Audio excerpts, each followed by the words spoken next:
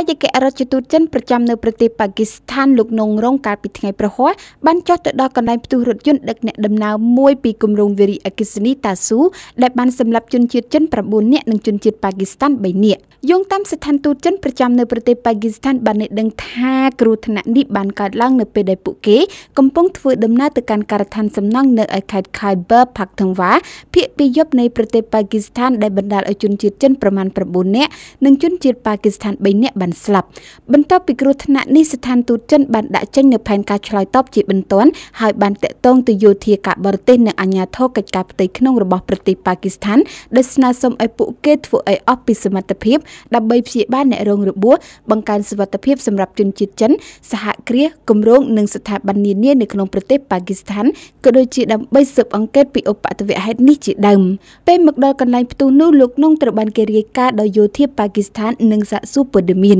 ទីប្រឹក្សាប៉ូលីសម្នាក់មកពីស្ថានទូតចិនបានចុះទៅបាត់ជ្រលងភ្នំដែលមានជម្រៅប្រហែល30ម៉ែត្រដើម្បីពិនិត្យមើលឡានដែលក្រឡាប់នោះ យោងតាមបុគ្គលិកគម្រោងវិរិយអគិសនីតាស៊ូបានឲ្យដឹងថាការផ្ទុះនេះបានកើតឡើងនៅម៉ោង7:04នាទីកាលពីថ្ងៃពុធហើយរថយន្តនៅចម្ងាយប្រហែល1គីឡូម៉ែត្រពីជំរំរបស់ពួកគេនិងប្រហែលពី8ទៅ10គីឡូម៉ែត្រពីកន្លែងសាំងសង់ខណៈការជួយសង្គ្រោះបានចាប់ផ្ដើមប្រហែល16នាទីបន្ទាប់ពីការផ្ទុះនេះ